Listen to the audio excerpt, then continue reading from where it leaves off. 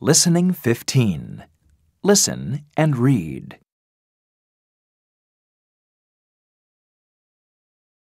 My name's Peter.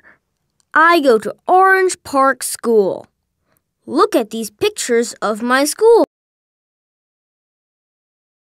Our classroom is upstairs. It's very big. I'm in class 3C.